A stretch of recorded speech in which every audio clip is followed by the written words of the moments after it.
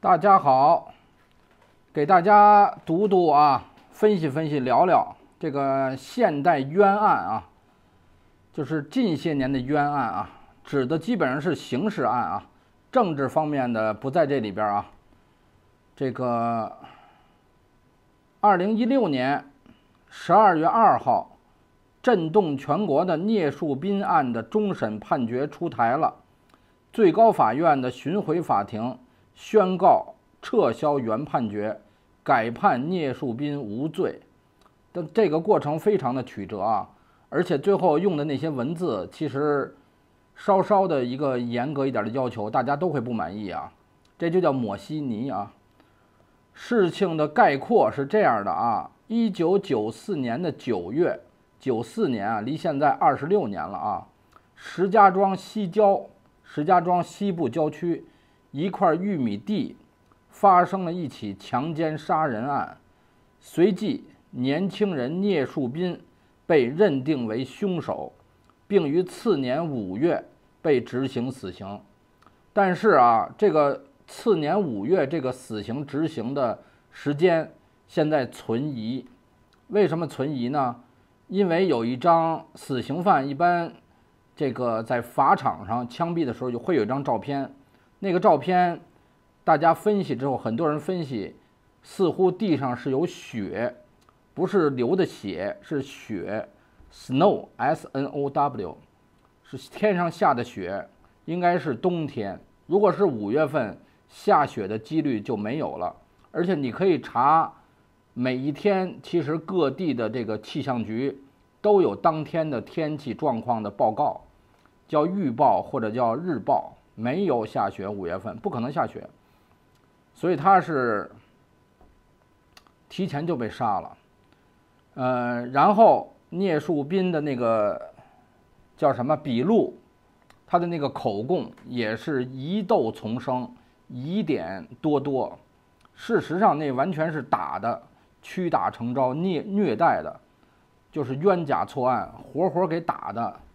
打到什么地步呢？就是生不如死，只能签字画押。然后这件事儿过了十一年，将近十一个年头，到二零零五年的一月，曾经犯多起强奸杀人案的王书金，在河南落网，好像是河南荥阳附近，好像他是在一个砖窑还是一个煤矿啊，似乎是砖窑，在那打工。随即主动供述自己是石家庄西郊玉米地强奸杀人案的真凶。一桩二十年前的旧案，真凶落网十载，竟然才最终结案。零五年一月，一直到一六年十二月，中间经过了十一年，十一年零十一个月，将近十二年。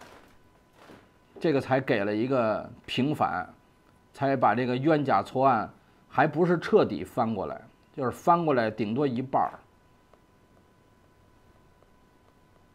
与聂树斌同期的呼格案啊，呼格吉勒图也有很类似的情况。这个是聂树斌是九五年、九四年的事儿，这个呼格案是九六年四月。在呼和浩特，一个女子被强奸杀害，应该是在一个公共厕所里被强奸杀害。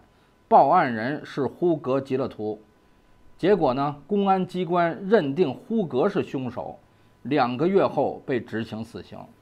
我觉得会有一个杀人犯逃跑还来不及呢，他自己去报案吗？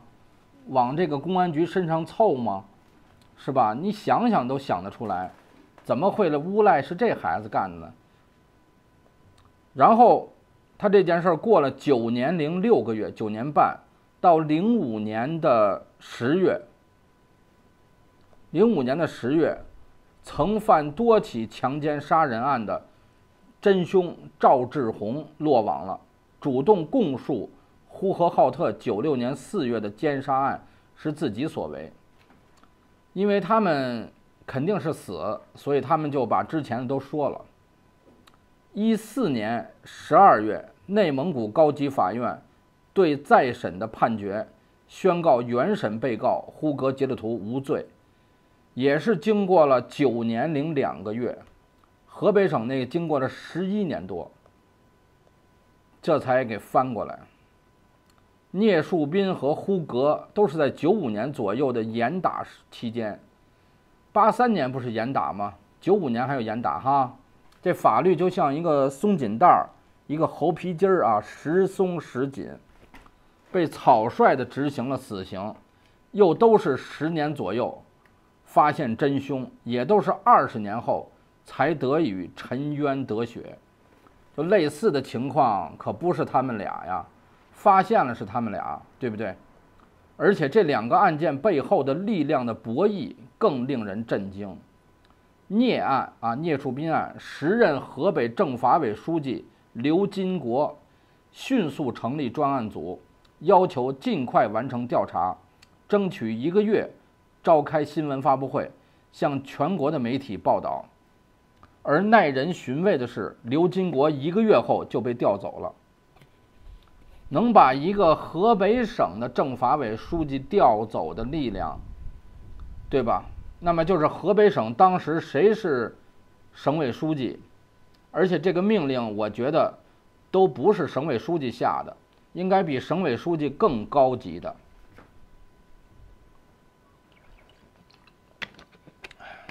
现在啊，就不是现在，前几年。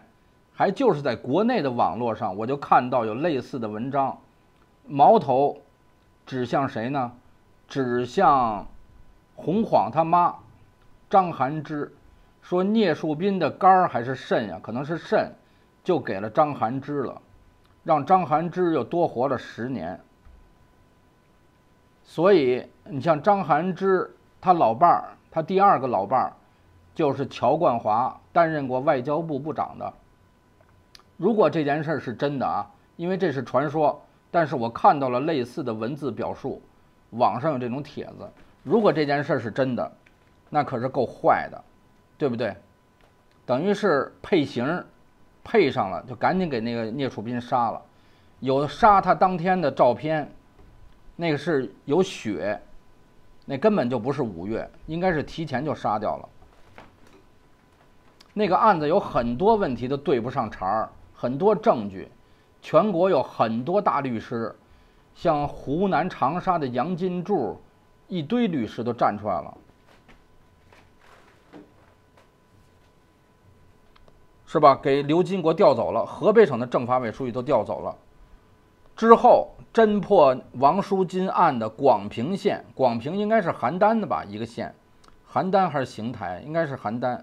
广平县公安局副局长。郑成月，郑成功的郑，成功的成，月亮的月，被罢职给撤了，提前退休。据郑成月所言，如果不出现王书金，我现在可能是邯郸市公安局局长了。就是他因为主持公道了，所以他的仕途、他的官儿、他的官途就此为止。而且他所受的迫害不仅仅是提前退休。包括他的工资都不给他，受到了各种各样的打压。呼格案当年破获呼格案的第一功臣冯志明，非但没有因错而受到调查，反而在省公安厅厅长赵黎平的关照下，一路升迁到呼和浩特市公安局副局长，而赵黎平自己一路晋升到副省级干部，种种的种种。不禁令人瞠目结舌。聂树斌案的背后，你能隐约看到这个政治不透明的国家，那些手中握有重权的官员，是多么的可怕。后来接任河北省政法委书记的叫张悦，据听说是张悦一直在后边拦着，一直在后边拦着，就不让这事儿翻过来。嗯，张悦是从北京调过去的。然后，据河北省当地的这些公安干警说，张悦很跋扈。然后，张悦呢，也是一个逃亡到美国的郭姓富商的后台之一吧。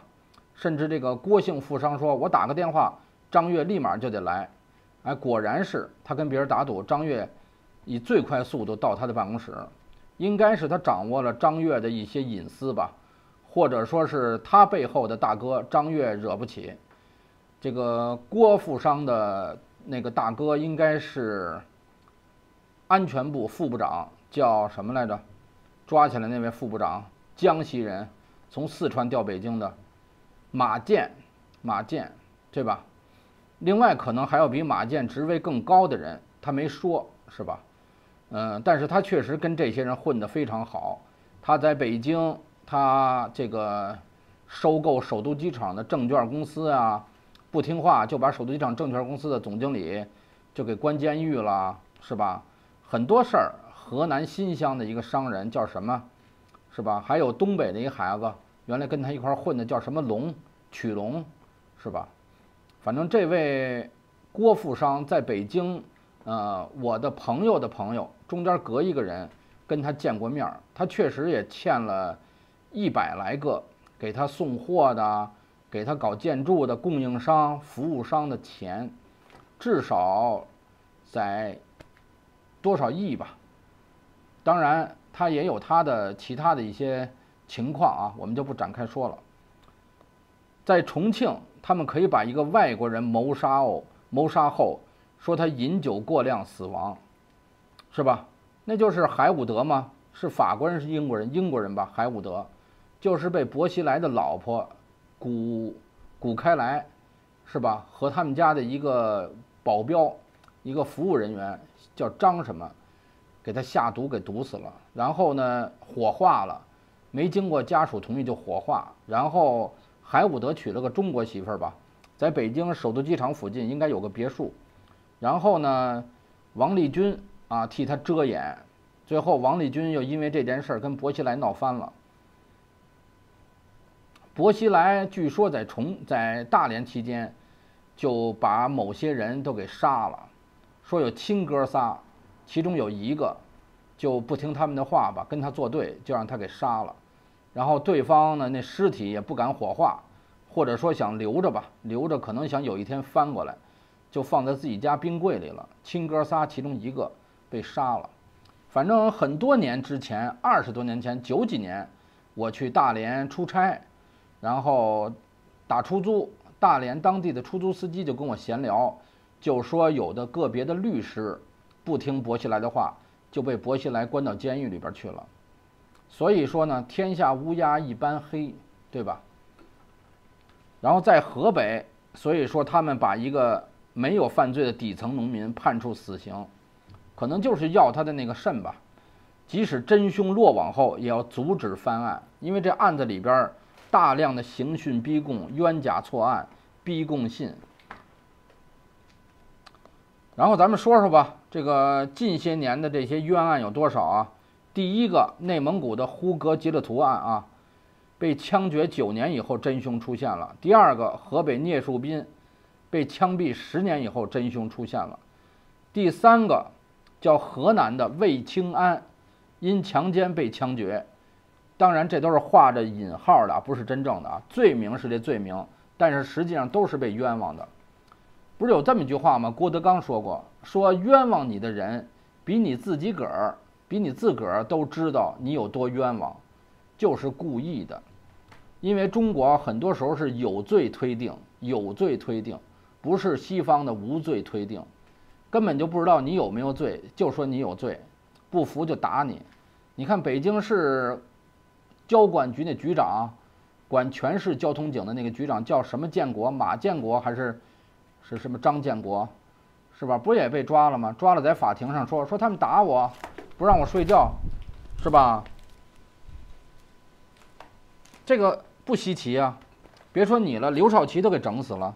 彭真，反正没死也够呛，是吧？贺龙、彭德怀，这不都整死了吗？对吧？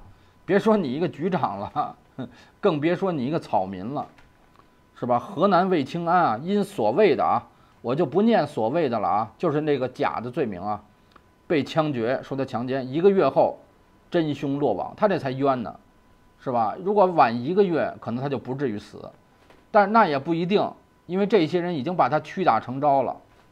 是吧？就就说是你干的，就把你枪毙了。第四个冤案，湖南的叫滕兴善，杀人碎尸被枪毙，十六年后宣告无罪。第五个，湖南的杨明银，杀人入狱后十年，他这没枪毙啊，说他杀人了，可能是死缓，因另有真凶，真凶出现了，被宣判无罪。第六个，湖南的叫姜自然，关了六年，关押放了。第七个，这个比较有名，我知道叫湖北的叫佘祥林，前些年呢说他杀老婆，说他给老婆杀了，关了十一年，结果他老婆出现了，他老婆应该就是跟人私奔了，或者就是被人拐卖了，关了十一年，他老婆出现了，给他放了。第八个，湖北的叫黄爱斌，也关了四年，给放了。第九个还是湖北的叫吴鹤生，关四年。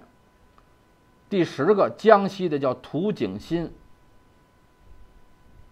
就不说他们的罪名了啊，因为太太太繁琐了。第十一个江西的叶烈炎，说他爆炸罪啊。第十二个江西的费志彪、费勤，叫兄妹杀人案。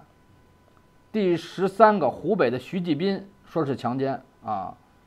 过了十五年，发现证据和真正的血型配不上，对不上。这证据相悖，你看看。第十四个，河北的宋宝民，啊，也说他强奸女青年，冤死在狱中，死在监狱里死了七年后宣判无罪了。第十五个，河北的徐东辰，说他奸杀少妇四次，被判死刑了，拘押了八年。第十六个，河北的刘乾，也说是强奸未遂。含冤九年宣判无罪。第十七，河北的李志平；第十八，河北的陈国清、何国强、杨世亮、朱延强。哎呦，这河北的冤案怎这么多呀？河北的冤案啊！第十九，河北的李九明；第二十，河北的孟存明；第二十一，河北的王思堂；第二十二，河北的王兰奇、王兰军。第二十三，河北的刘俊海、刘印堂，这河北看来屈打成成招的比例相当高啊，还是说其他省也多没揭出来啊？二十四，河南的张振峰；二十五，河南的黄鑫；二十六，河南的秦艳红；二十七，河南的张少友；二十八，河南的徐敬祥；二十九，河南的赵作海啊，这个人有名儿，赵作海。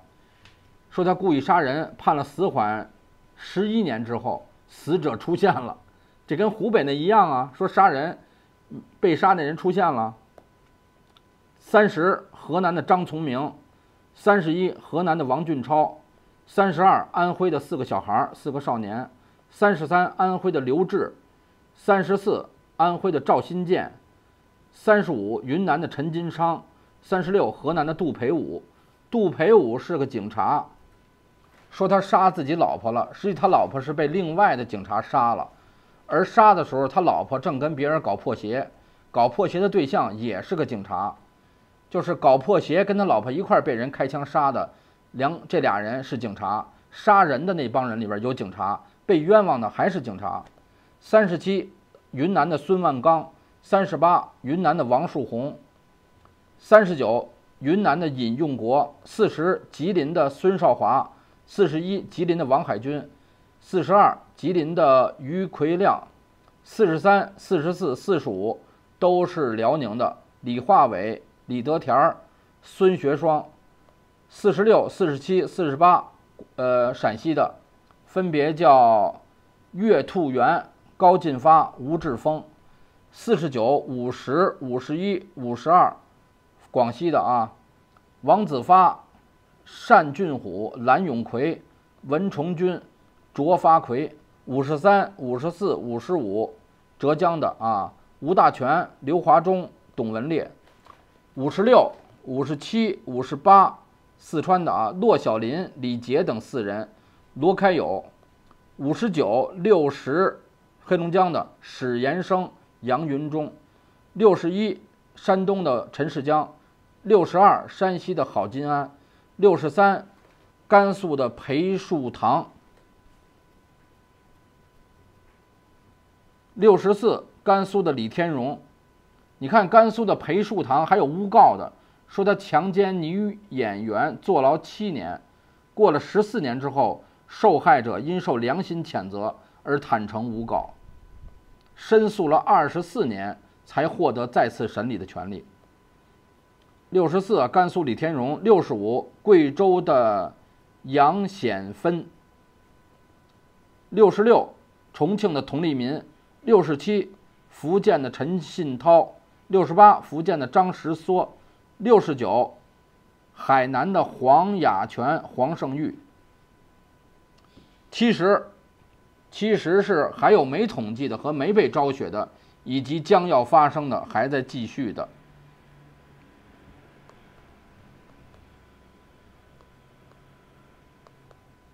哎，这就是中国的法律制度啊，让这么多人蒙冤啊！这个法律制度有严重的问题。